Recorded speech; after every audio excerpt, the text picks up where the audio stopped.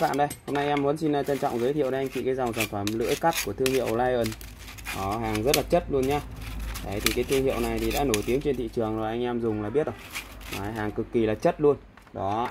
Thì ờ, lưỡi phần lưỡi là lưỡi này là màu lưỡi đỏ anh chị em nhé. Trên thị trường thì nó đang có ba dòng lưỡi xanh, lưỡi đỏ và lưỡi ờ, vàng. Đấy, nhưng mà cái dòng lưỡi đỏ này là dòng cao cấp nhất này.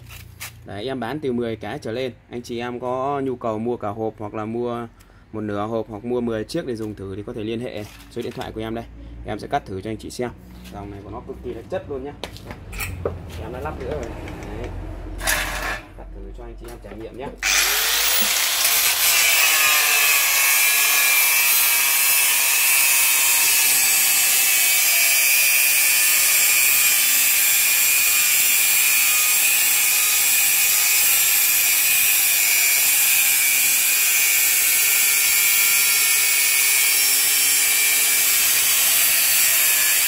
Đấy, chị thấy không?